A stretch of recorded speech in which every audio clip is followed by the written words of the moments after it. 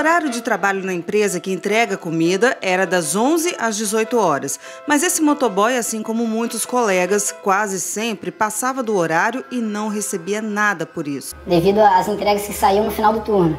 Então, às vezes dava 18 horas, saíam 8, 9 entregas, a gente tinha que fazer. A gente não podia sair da, da, da casa do cliente e ir para casa, porque a gente tinha o material da empresa, bolsa, máquina de cartão, dinheiro para devolver.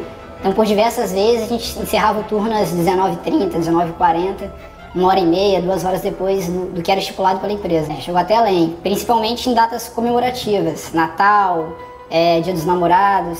Então eu já cheguei é, a pegar um turno da noite, que era de 18 horas até as 23 e sair de lá 1h40, 1h50 da manhã. Só pagavam o que era combinado naquele horário. Mesmo se a gente ultrapassasse o horário, a gente não recebia por isso.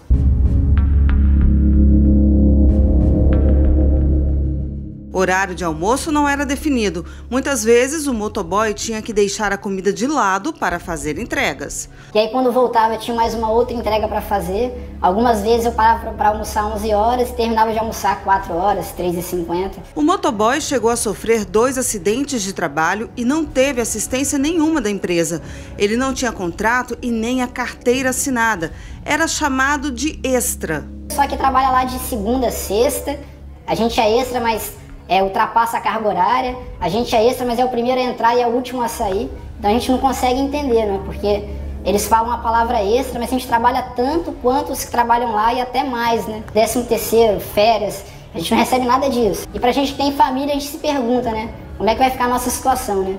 Se a gente vai cobrar o direito do empregador, ele simplesmente demite a gente por, pelo fato dele achar que a gente é extra e não ter vínculo nenhum com a empresa.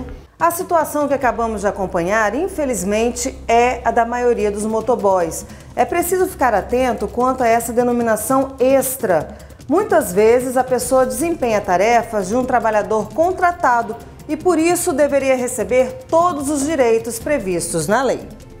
13 terceiro salário, férias acrescidas de um terço e FGTS, mas também tem os previstos em convenção coletiva, que é o adicional de periculosidade de 30% sobre o valor do salário dele.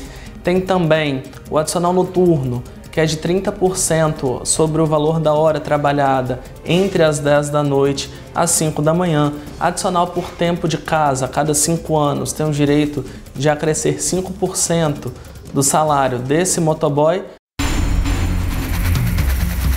Ainda há outros auxílios que o motoboy tem direito a receber.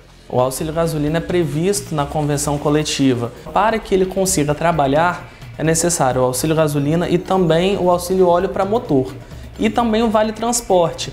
No caso do motoboy, a própria convenção coletiva permite que o valor que seria destinado ao vale transporte seja revertido em favor do motoboy que use a sua moto para trabalhar. E ainda tem o aluguel da motocicleta, porque quando o motoboy ele usa da sua moto para trabalhar, a convenção coletiva dele prevê que a empresa pague um aluguel pela moto dele, até como forma de preservar o patrimônio do empregado.